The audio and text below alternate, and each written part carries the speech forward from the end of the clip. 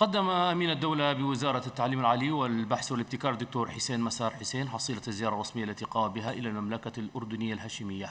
نتابع ما جاء في حديثه. قمنا بزيارة إلى المملكة الأردنية الهاشمية في الفترة من 17 إلى 24 سبتمبر.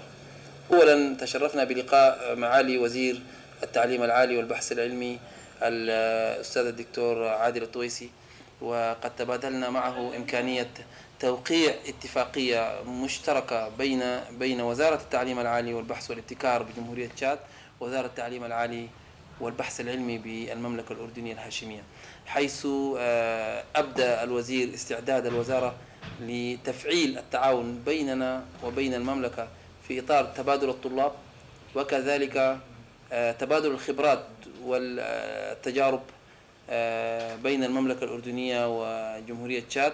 وكذلك أيضا يعني أبدت الوزارة تقديم عدد من المنح الدراسية للطلبة التشاديين في الدراسة بالمجالات العلمية خصوصا في الطب والهندسة وكذلك فتح مجال للدراسات العليا وأيضا معاملة الطلبة التشاديين معاملة الأردنيين.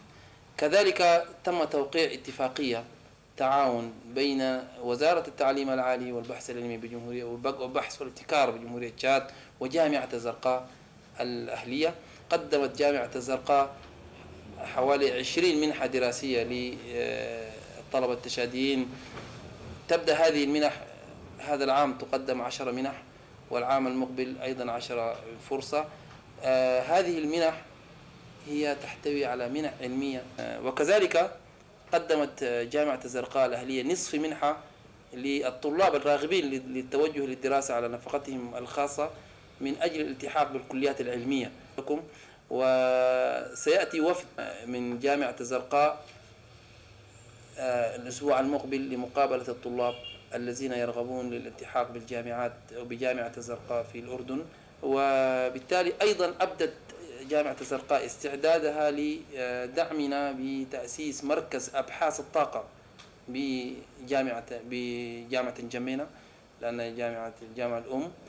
وأبدأ اتحاد جامعات الجامعات العربية لقبول عضوية الجامعات في تشاد لتبادل الخبرات وحضور المؤتمرات. يعني أبدأ اتحاد الجامعات العربية لاستعداده لعقد مؤتمر بين الجامعات العربية والجامعات التشادية في يعقد في جمينة نظمت الدائرة الأولى احتفالا بمناسبة الترميم الذي قامت به قوات برخان لمدرسة كركنجيري كان ذلك بحضور السفير الفرنسي لدى البلاد تقرير آدم حنفي فضل لم تقتصر مهمة قوات البرخان في استتباب الأمن فحسب بل إنها التفتت نحو النمو في مجال التعليم لذا بادرت بترميم هذه المدرسة التي تسمى مدرسة كركنجيري الواقعة بالدائرة الأولى. هذه الجهود التي قامت بها قيادة قوات البرخان هي ناتجة عن العلاقات الفرنسية التشادية نحو التقدم العلمي.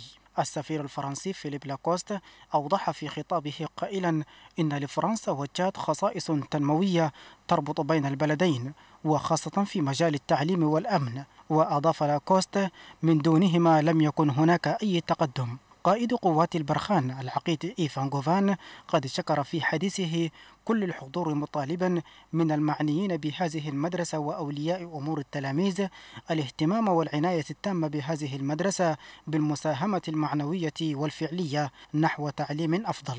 النائب الأول لعمدة الدائرة الأولى جبريل محمد عبد الكريم في كلمته حيث شكر قيادة قوات البرخان على هذه اللفتة البارحة.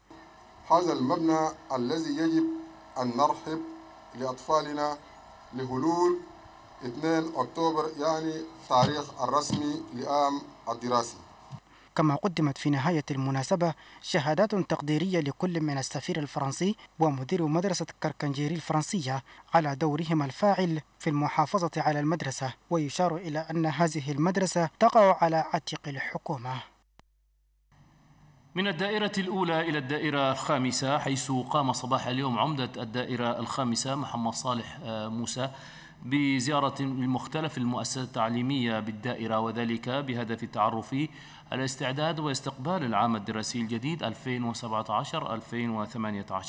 لمزيد من التفاصيل في تقرير الزميلة حليمة سعدي يعقوب. استئدادا للدخول العام الدراسي الجديد 2017-2018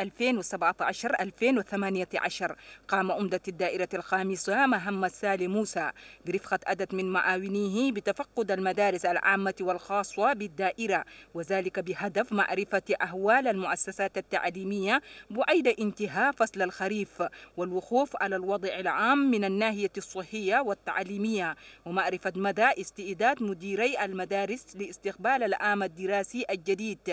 وشملت هذه الزيارة كل من المدرسة الابتدائية اتحاد الشباب بهير ضينا ومدرسة تومايا الابتدائية وأخراها معهد العلوم والتقنيات التطبيقية. من أبات الإيال السخيرة كان أنت تكتب في تكفي لها 2000 3 ألف.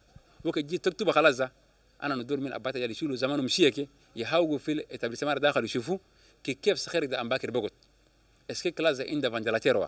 اسكي داخل ده عند كابيني موفر لولدك ام باكر كم مشهد ما يلقى سوبات هنا سنتيوا والجدير بالإشارة أن مثل هذه الزيارة تدخل في إطار تعزيز النظم التربوية وتشجيع مسؤولي المؤسسات التعليمية لأجل المحافظة لتحسين المستوى التعليمي في العاصمة